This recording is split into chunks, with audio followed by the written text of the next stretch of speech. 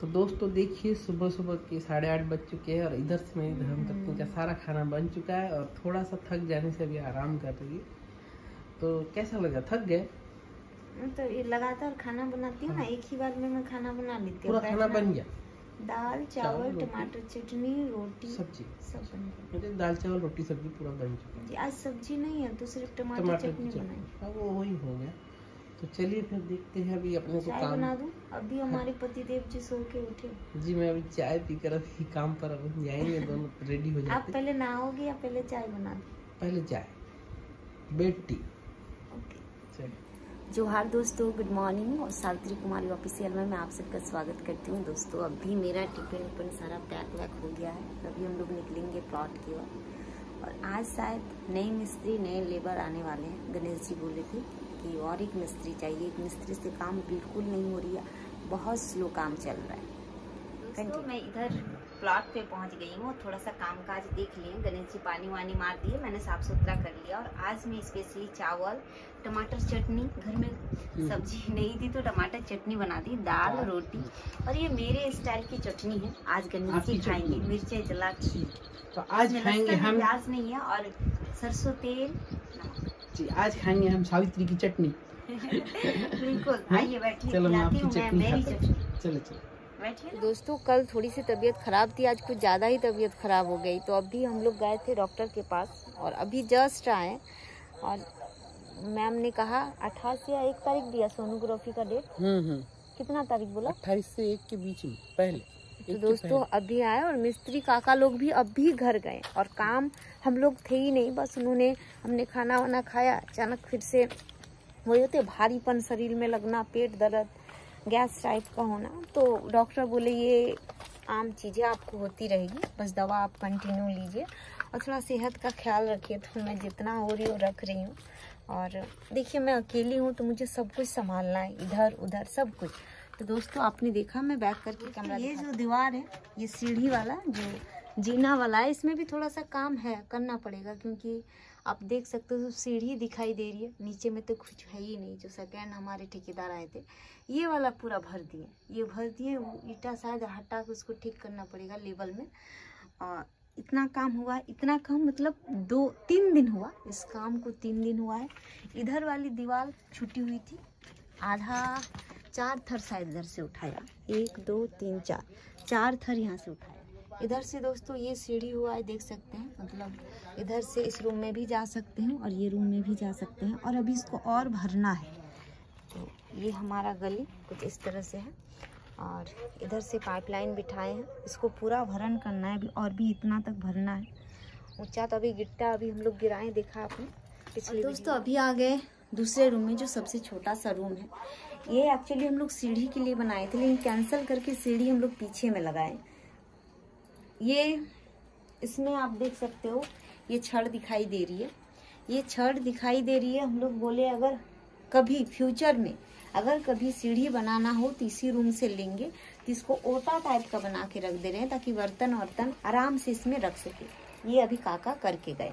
और उसके बाद जो काम हुआ है ये जो दीवार देख सकते हैं ये दीवार का काम हुआ है। बोले तो ये जो थोड़ी सी बरंडा टाइप का है हॉल टाइप का इसका काम हुआ है।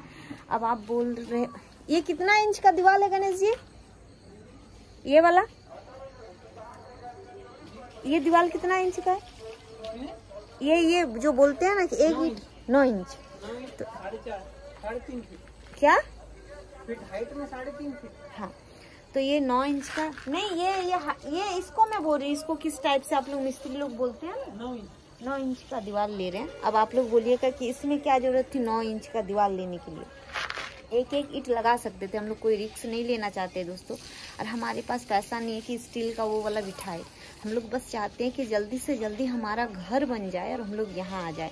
तो जो हमारा टुकड़ा टुकड़ी ईटा था उसको हमने यहाँ पे लगा दिया इस दीवार में। ये काका जी ने किया है और इधर से मैं आपको ले जाती हूँ जो मम्मी के लिए स्पेशली रूम बना रही है। वो हमारे है इस साइड में, इस साइड में, पूरे प्रोटेक्ट के साथ है, क्योंकि हमारी छोटी, आपको पता है, उसको तो अच्छा से रखना पड़ेगा। तो उसके लिए हम लोग ये रूम ये रूम मैं एक बार भी नहीं गई हूँ। जब सीढ़ी बनी, उसके बाद ही मैं इस रूम में गई हूँ। तो ये रूम आप देख सकते हो। ये रूम का भी सीढ़ी बन चुका है। और ये रहा रूम हम्म, अभी तो प्लस्टर वगैरह होगी। अभी लाइट फिटिंग वगैरह हो गई शाम को आए ना तो शायद आप लोग को दिखाने में थोड़ी सी दिक्कत हो रही है। और ये अटैच बाथरूम है। कहीं कोई टेंशन नहीं सब कुछ सुविधा यहीं पर होगा। और यहाँ पर नल भी लगा देंगे। यहाँ पे इस गली में साइड में नल रहेगी। पानी जितना गिरेगा वो पाइप के पाइप से बाहर चले जाएँगे। तो बस ये सावित्री दीदी की छोटी सी कोशिश है। इस घर में किसी को कोई तकलीफ़ ना हो। चाहे जो हो, जो बोले लो। खैर, लेकिन किसी को तकलीफ़ ना हो। उस हिसाब से मैं काम कर रही हूँ और पैसे बचाने की भी कोशिश कर रही हूँ और ज़्यादा से ज़्यादा पैसा कमाना भी चाहती हूँ, ताकि जल्दी से हमारे घर बन जाए। तो दोस्तों, ये रहा काम। बहुत लोग बोलते हैं कि सुबह उठ के इधर आ जाती हो, घर में क्या काम करती हूँ? तो घर का मैं सारा काम गणेश जी बोलेंगे। गणेश जी, क्या सुबह उठ के इधर आ जाते हैं? नहीं तो कैसा होता है, घर में पूरा खाना बना के हम अपना डब्बा यहाँ लेकर आते और जैसे ये लेबर लोग अपना खाना वगैरह खाने में बैठते उसी टाइम हम भी अपना खाना बैठकर यहाँ खा लेते मेरा दो महीना जब स्टार्टिंग में जब बेबी हुई तो बहुत दिक्कत तो हुई हाँ। मैं आपको बता नहीं सकती। डेली रोती थी मैं दो महीने तक ढंग से खाना तक नहीं खाई एक टाइम का तक खाना नहीं खाई। इतनी मेरे पे तकलीफ़ बीती है। वो शायद जिसके ऊपर बीता है वही वही बोल सकती है कि क्या होती है क्या नहीं ये प्रेगनेंसी तो दोस्तों, आप लोग बहुत कोई जिज्ञासा में थे कि मेरे बेबी कितना मंथ का है, कितना नहीं। बहुत सारे कमेंट आ रहे कि दीदी आप बताइए ना कैसे क्या हो रहा है, क्या नहीं। तो दोस्तों, सबसे पहले मैं बता दूँ, अभी भी मेरा स्मेल वाला खत्म नहीं हुआ जी है। अभी भी वो लेकिन मैं कंट्रोल- से थोड़ी सी कम हुई हाँ लेकिन मैं कंट्रोल करती हूँ थोड़ी सी जैसे कि सरफ से ही सब कुछ ज़्यादा मैं काम करने की कोई बर्तन भी धोती हूँ तो सरफ से ही धोती हूँ। साबुन की तो बिल्कुल इस्तेमाल नहीं करती हूँ। नहाती हूँ तब थोड़ी साबुन लगानी पड़ती है। इनको पूछिए कितना दिक्कत होती है मेरे से। और ये कुछ प्रॉब्लम है अभी भी मेरे साथ। और फाइनली दोस्तों फाइव आप बताइए ना कितना मंथ जी फाइव मंथ कंप्लीट हो गया। हो गया। फाइव मंथ कंप्लीट हो गया और अभी लास्ट में बोले हैं कि सोनोग्राफी अट्ठाईस से दो दिन में करना है समझो क्योंकि अभी तेईस है पाँच दिन के सामने करना है। हाँ। चार पाँच तो जैसे ही हमें टाइम मिलेगी वो होली में तो फ़िलहाल एक दो दिन हम्म हम्म। बंद ही रहेगी बिल्कुल बिल्कुल। मंगल बुधवार तक कोई चांस नहीं। बुधवार जैसे हमें समय मिलेगा हम लोग जाएँगे और आप क्या रिपोर्ट है क्या नहीं कैसे अभी मेरी बॉडी है मैं सब कुछ आपको दोस्तों वीडियो यहीं पर एंड करते हैं। बहुत रात हो गई जब हॉस्पिटल से आए तो आप समझ ही रहे हो कि फ्रेश होना भी पड़ेगा। दोस्तों अगर सावित्री दीदी और आपके जीजाजी या आपके भैया जो भी आप बोलोगे अगर आप हम हम दोनों का ये ब्लॉग पसंद आए तो प्लीज़ हमें ढेर सारा प्यार दीजिए। आपके प्यार की हमें अभी बहुत प्यार देते रहिए और गणेश सावित्री की जोड़ी भी बहुत अच्छा चैनल है उसको भी देखते रहिए उस पर भी देखते प्यार देते रहिए वो भी अभी बहुत जल्दी ही एक लाख। एक लाख होने वाला है। एक लाख सब्सक्राइबर होने वाले हैं वो भी गणेश जी के नाम पे समझ रहे हैं? बहुत खुश है वो और मैं भी बहुत खुश हूँ। और जितना हो सके हमारी दिनचर्या में जो जो होती है मैं सारा कुछ हम दोनों दिखाने का प्रयत्न करते हैं। है कि नहीं? और इसलिए हम एक एक ब्लॉक रुक रुक के बनाते हैं ताकि जो हमारे इसमें समय भी नहीं मिलता घट और- जो हमारे इसमें घटना घट रही है वो आप सबको हम बताए डिटेल में। इसलिए एक दिन रुक के हम ब्लॉग डालते हैं। नहीं अब तबीयत भी तबीयत भी ठीक नहीं है, दोनों तो बातें तबीयत बिल्कुल सही नहीं रहती अब।